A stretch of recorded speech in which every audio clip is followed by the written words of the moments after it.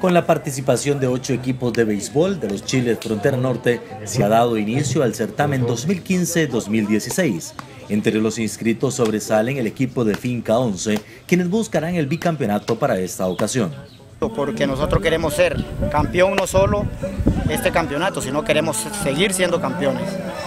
O sea, este año y el venidero, porque realmente tenemos un apoyo muy, muy bueno para que nosotros seamos campeón y por eso lo estamos preparando. Nosotros fuimos campeón el año pasado y queremos tener también el, queremos tener también el bicampeonato.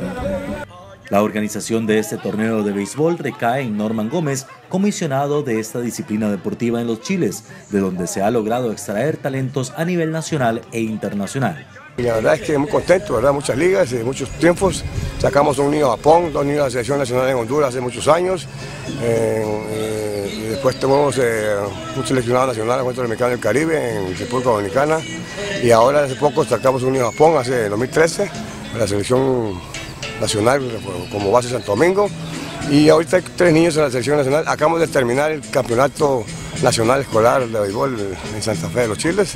Mucho trabajo, mucha dedicación, mucho orgullo y mucho cariño a la disciplina. Participan de este campeonato de béisbol en los Chile Frontera Norte los equipos de Santa Fe, Finca 11, Santa Rosa de Pocosol, Achotal, Combate, Isla Chica, Escalera y Cuatro Esquinas.